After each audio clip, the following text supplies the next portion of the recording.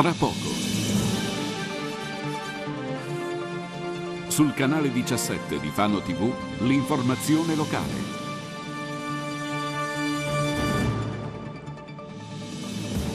Il porto di Fano in secca, i pescatori protestano suonando le sirene delle barche.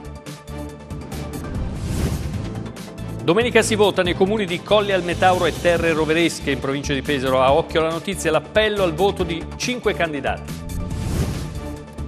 Gira con una spranga di ferro in mano denunciato dalla polizia. Per raggiungere lo chalet si cambia abitudini, stop alle auto, moto e biciclette, da oggi si va in bus navetta. A Fenile di Fano inizia stasera la festa del Fagiano e della Fragola, fino a domenica.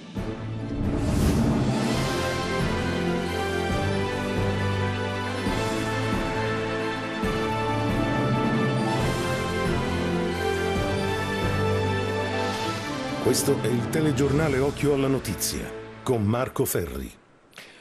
Un cordiale saluto a tutti voi, buonasera, benvenuti a questa nuova edizione del telegiornale Occhio alla Notizia sul canale 17 di Fano TV. Allora, c'è stato un incidente stradale questa mattina poco dopo le 7 eh, in località Abbadia di Naro, vicino a Cagli a scontrarsi eh, quasi frontalmente con un autocarro proveniente dalla direzione opposta un'infermiera a bordo di una Fiat Punto. La donna per l'urto violentissimo è rimasta incastrata nel veicolo fino all'arrivo dei vigili del fuoco di Cagli.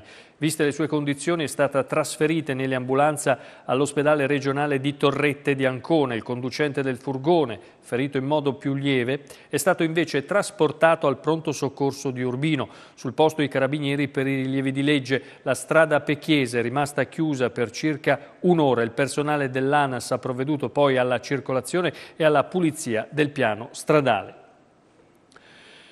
Con l'arrivo dell'estate eh, alle porte parte anche l'operazione, il piano dedicato alla, eh, della, dedicato alla sicurezza della Polizia di Stato.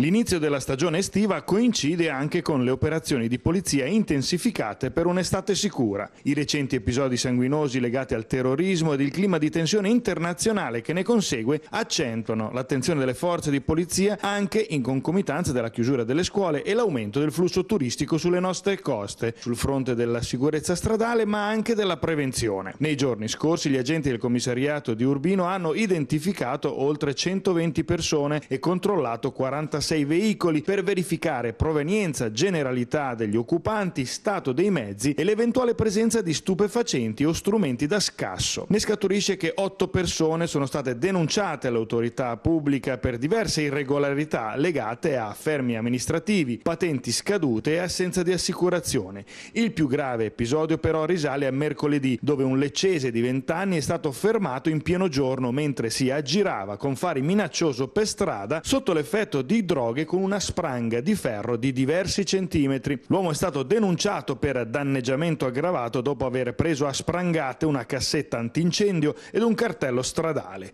Ieri un quarantenne ed una ventenne del posto trovati in stato di ebbrezza alla guida dell'auto e gli è stata ritirata anche la patente, così come ad un trentenne del luogo trovato alla guida sotto l'effetto di stupefacenti. I controlli proseguiranno per tutta la stagione estiva. ANAS riaprirà al traffico entro la serata di oggi l'ex strada statale Tre Flaminia in località Acqualagna in provincia di Pesaro e Urbino dopo le verifiche tecniche eseguite sui viadotti Candigliano e Burano.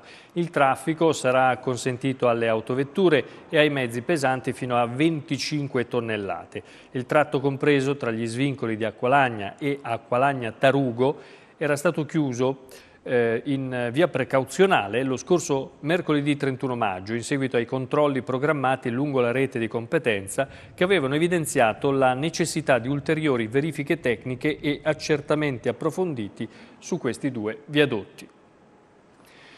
Torniamo a Fano, il porto, il porto è in eh, secca e i pescatori lanciano l'ennesimo grido di allarme. Questa volta hanno deciso di manifestare suonando le sirene delle barche. Vogliamo che il presidente della regione Ceriscioli venga qui dove siamo noi oggi e venga a rendersi conto di persona delle condizioni in cui versa il nostro porto. Lo pretendiamo. Parole forti quelle di Tonino Giardini sulla banchina del porto questa mattina nell'incontro con la stampa per mettere nuovamente il dito sulla piaga del dragaggio del porto. Tra lupi di mare, forza pubblica e assessore, i marinai al rientro dalla battuta di pesca sulle vongolare avrebbero dovuto inscenare un'azione di protesta con sirene ed entrate in porto ad effetto, ma forse fiaccati dagli appelli continui e caduti nel nulla e i rimandi e le promesse, neanche loro forse ci credono più e così le sirene suonano, ma un po' a casaccio. Tra l'indifferenza e la curiosità di qualche passeggiatore mattutino e i militari della capitaneria, anche se loro il problema, i marinai e i lupi di mare, lo conoscono bene. È, è da tanto tempo, da tanto tempo che siamo così. Abbiamo stati in regione, in comune e nessuno, nessuno ci dà ascolto e non so cosa, cosa dobbiamo fare di più. L'ultimo dragaggio serio del porto di Fano è stato fatto con la Sorbona nel 1994, da allora solo interventi sporadici, ciò che serve ben altro anche perché il Comune di fatto la sua parte l'ha fatta, caso unico, in Regione. Davvero invitiamo la Regione eh, a controllare l'autorità portuale a procedere di Ancona eh, affinché si possa arrivare al dragaggio delle darse nel porto di Fano che se no eh, diventano impraticabili con gravi problemi alla pesca e com complessivamente problemi sociali. E che non siano calende greche quindi, ma intanto la situazione non è affatto semplice e lo spettro della chiusura del porto per motivi di sicurezza angoscia e non poco gli operatori della pesca. E se i tempi che eh, così ci vengono sussurrati, neanche detti, sono quelli di eh, gennaio, febbraio del prossimo anno, eh, noi chiuderemo il porto. Cioè il timore è che poi in caso di pericolo il comandante della capitaneria dica il porto si chiude. Questo non lo vogliamo, qui c'è tanta gente che lavora, che vive sul mare, perché è tradizione anche di Fano, è caratteristica della, della nostra realtà, sono in difficoltà le vongolare, lo sono ancora di più in difficoltà i grandi pescherecci.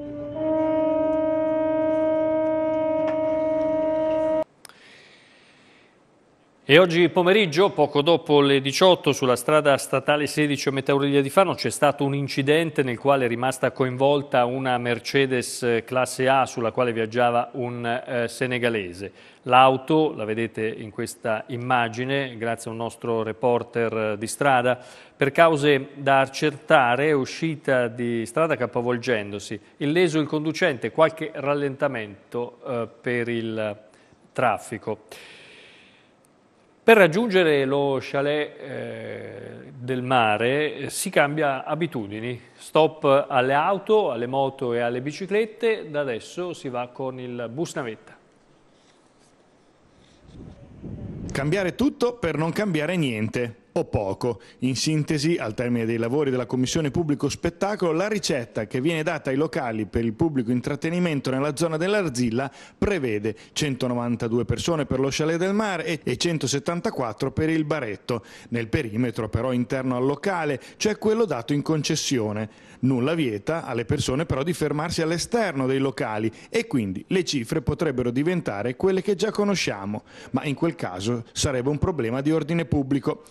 Qualcosa di sostanziale è cambiato però, ma riguarda le aree d'accesso ai locali, via del Moletto e il sottoferrovia del Lido. Lì si è pensato ad una zona rossa dalle 22 in poi nei giorni che i locali comunicheranno per fare pubblico intrattenimento, per garantire la sicurezza dei presenti. Niente bici, niente motorini, niente auto. Garantite però anche sei navette in punti di scambio per evitare anche i pericolosi parcheggi lungo la nazionale. Ci sono a disposizione col bus navette i parcheggi dello scambiatore di Viale Romagna, il parcheggio ex FIF, il parcheggio del cimitero, il parcheggio ex Vittoria. In più all'occorrenza eh, hanno dato la disponibilità eh, anche di utilizzare due parcheggi privati con un contratto di, eh, un contratto di affitto. E quindi loro garantiranno eh, il servizio navetta per tutte le persone che devono entrare all'interno, devono accedere a quella via, quindi non sarà penalizzato nessun, eh, nessun residente e nemmeno mm, i ristoranti che sono, che sono lì, perché potranno usufruire anche della navetta e quindi ecco, si è voluto guardare particolarmente ecco, eh, la, eh, la, sicurezza del, la sicurezza del luogo. Allora, domenica, domenica, prossima si vota, si vota in tutta Italia in oltre mille comuni, nella nostra provincia sono quattro quelli nei quali bisognerà eleggere il nuovo primo cittadino.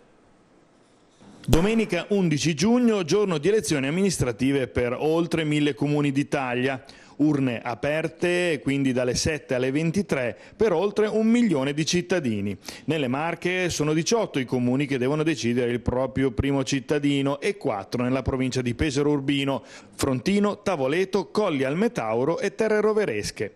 Per questi ultimi due è un giorno dalla doppia valenza perché sono due neoidentità formate dalla fusione di altri comuni e rappresenta la prima volta di voto congiunto dei cittadini.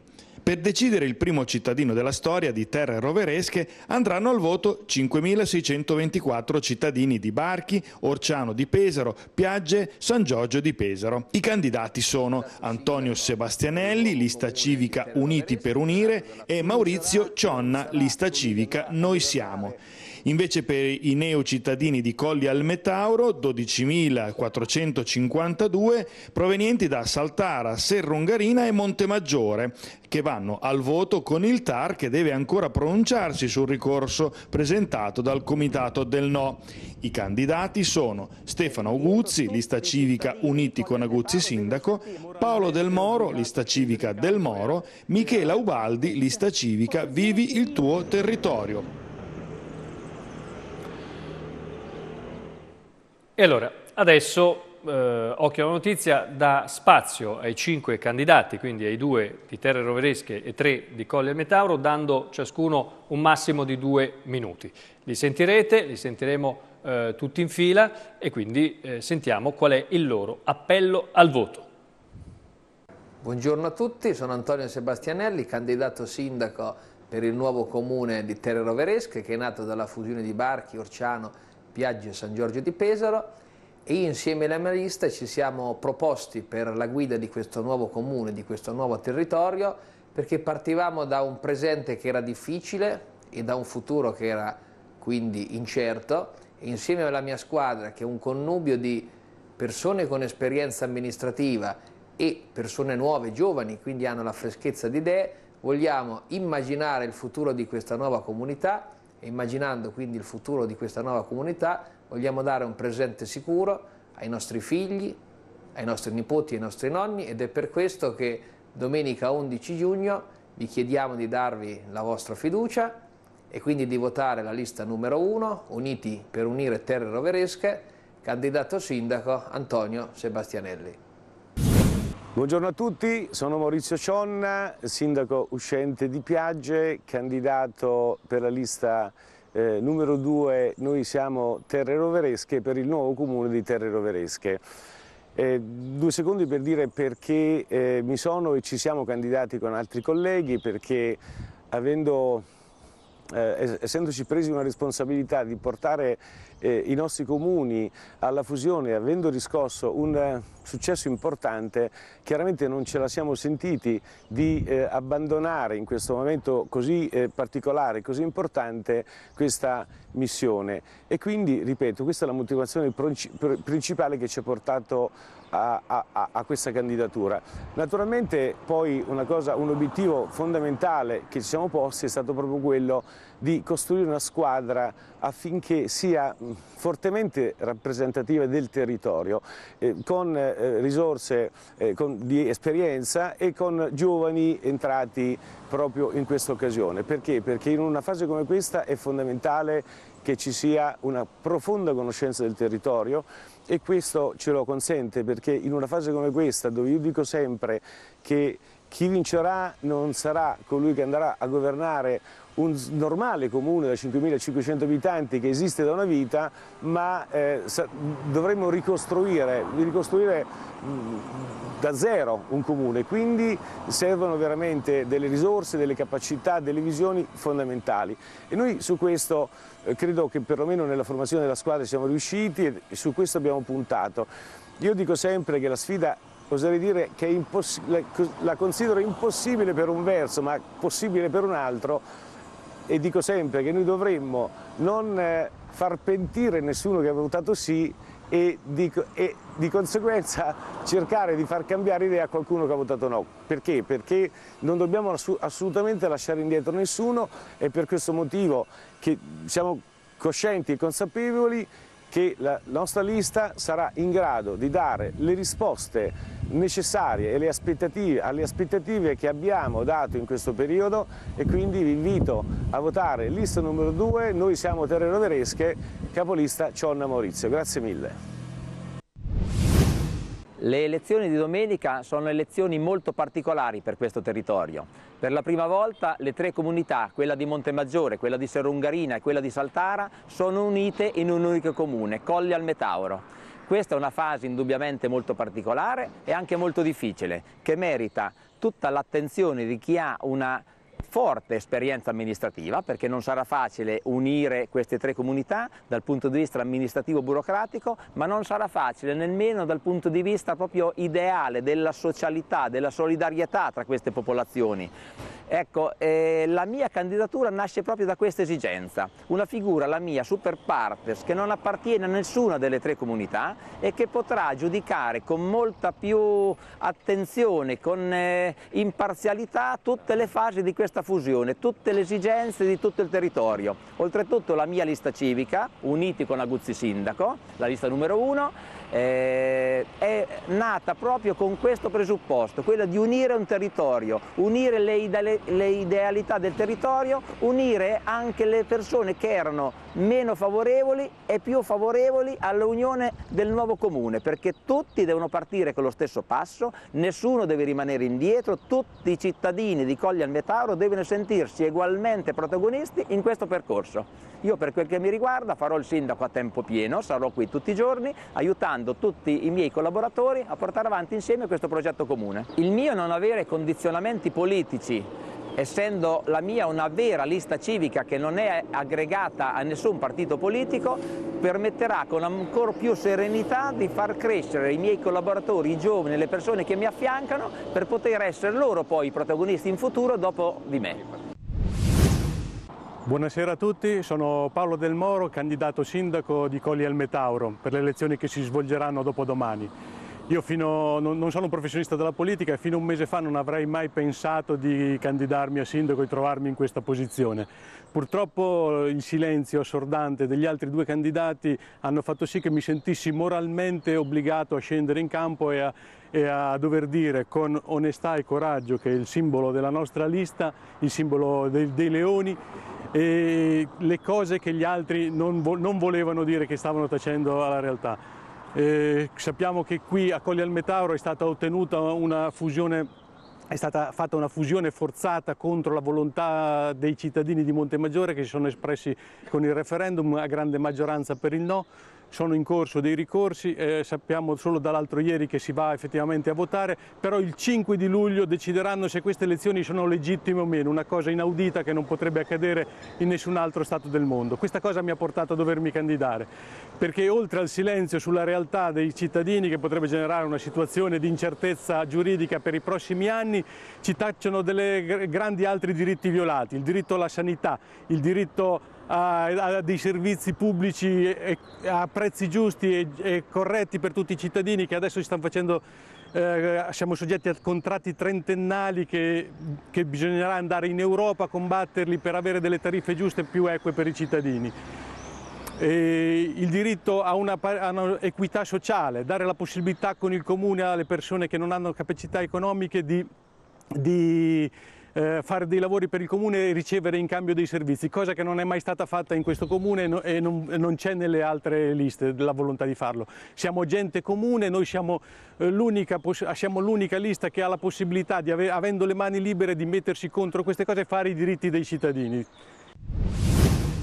Sono profondamente convinta che la mia candidatura e quella del mio gruppo Vivi il tuo territorio sia l'unica e valida prospettiva di futuro per il comune di Colle al Metauro. Una proposta genuina e concreta, nonché autentica, perché fatta di persone che vivono in questo territorio e che fanno parte integrante di questa comunità. Non so bene che cosa si voglia intendere per essere super partes. Posso dire che io, così come gli altri membri del mio gruppo, siamo fortemente orgogliosi di poter dire di essere cittadini del comune di Colli al Metauro. Siamo profondamente convinti che per poter eh, costruire insieme la nuova identità del comune di Colli al Metauro sia indispensabile conoscere le proprie origini, le proprie radici e la propria identità e solo persone che appunto fanno far, far parte di questa comunità potranno rappresentarla in maniera adeguata. Siamo altrettanto convinti che eh, l'esistenza del comune di Colle al Metauro debba essere tutelata in tutte le sedi, anche quelle giudiziarie e su questo punto non ci possono essere fraintendimenti, non ci possono essere spazi neppure minimi per posizioni contrarie o tantomeno ambigue. Votate dunque Vivi il tuo territorio con Michele Ubaldi sindaco perché vi diamo garanzia di gettare delle fondamenta solide per lo sviluppo e per il futuro del nuovo comune di Colle al Metauro. Questi gli appelli al voto per eh, la giornata di eh, domenica. Adesso cambiamo pagina, Palazzo Bracci Pagani a Fano tornano i protagonisti dell'arte contemporanea come Bruno Bruni. Le sue opere adornano le case di VIP e campioni dello sport di mezzo mondo, Schumacher e Jean Todt per citarne solo alcuni. Bruno Bruni, scultore, design, pittore, definito emozionale, sensuale e virtuoso. Un protagonista dell'arte contemporanea, cresciuto alla corte di Vangi e poi alla scuola di belle arti di Amburgo, dove fu guidato nella sua opera da maestri come Gottuso e Gresco e dove le influenze all'estero delinearono da subito i tratti stilistici classici della sua opera che ancora oggi lo rendono inconfondibile. Le sue opere, i suoi quadri, i suoi dipinti e le grafiche le sculture dal 10 giugno al 30 luglio riempiranno le splendide stanze del Diana Art Gallery di Palazzo Bracci Pagani che già videro il suo maestro Vangi inaugurare questo spazio museale cittadino. È chiaro che eh, delle, delle stanze così, dove ci sono 3-4 quadri ogni stanza, è chiaro che si valorizza di più che quando ce ne sono 50 uno dietro l'altro. No? Che periodo è della sua espressione artistica? Questo è misto, perché sono dei quadri vecchi fino all'ultimo che fa, questo, questo qui che è l'ultimo. Sono già dei quadri di 10 anni fa, di 5 anni fa, di 3 anni fa, di 2 anni. Ho, ho, ho cercato di mettere una cosa rappresentativa del mio lavoro. L'intento della Fondazione è quello di dare alla città, con la presenza di questi artisti di caratura mondiale, un impulso culturale di spessore alla città di Fano. Sì, come avevamo detto l'anno scorso, eh, continuiamo eh, tutti gli anni a fare mostre mh, di carattere mh, pittorico o, o, o di sculture di arte contemporanea a livelli davvero internazionali.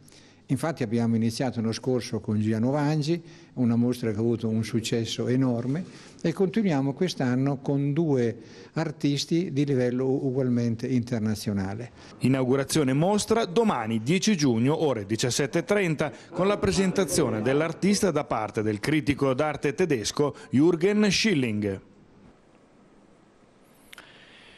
Domani sera su Fano TV, eh, Fano TV trasmetterà in diretta la 39esima edizione del pellegrinaggio a piedi Macerata-Loreto. Il collegamento è previsto per le ore 20 e terminerà intorno alle 22.15 con l'uscita dei pellegrini dallo stadio Elvia Recina di Macerata e l'inizio del cammino notturno verso la Santa Casa di Loreto. Alle 20.30 è probabile anche un messaggio in diretta telefonica del Santo Padre Papa Francesco. Alle 20.45 invece la Santa Messa celebrata dal Cardinale Kevin Farrell, prefetto del nuovo dicastero Laici, Famiglia e Vita. E questa sera a Fenile di Fano è iniziata la festa del fagiano e della fragola. Allora andiamo a collegarci con eh, la festa con Lino Balestra. Io sono ribelle, non mi piace questo mondo che non vuole la fantasia.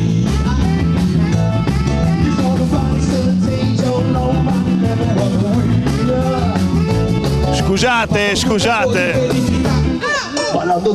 Scusate, scusate se interrompo, scusate, eh? Un attimo, un attimo, un attimo. Io invidio queste persone Ciao Fano, ciao Fano, ciao Fango. Ciao, ciao Lino. Ciao Lele. Ciao. Allora, io vi invidio tantissimo le giacche, sono venuto in t-shirt. Allora, diciamo agli amici a casa che cosa state facendo e perché siete qui. Ok, stiamo facendo un concerto con Fango Live e subito dopo con eh, i Carta Carbone per salutare tutta la zona del centro Italia.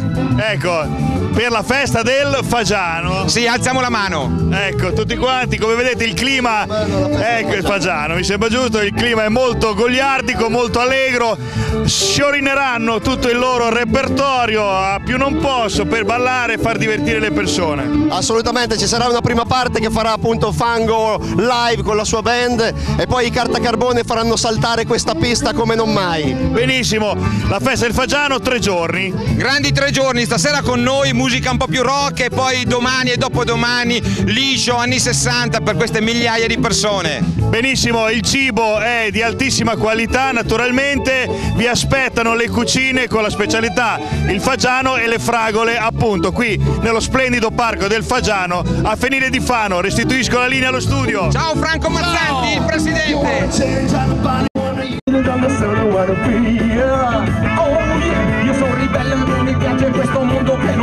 Fantasia. Bene, grazie. Allora, con eh, questo collegamento chiudiamo qui l'edizione di oggi di Occhio alla Notizia. Noi ci rivediamo domani mattina alle 7.30 con, il, eh, con la rassegna stampa. Questo intanto è il numero 338 4968 250 per le vostre segnalazioni. Grazie per averci seguito. A voi tutti l'augurio di una buona serata.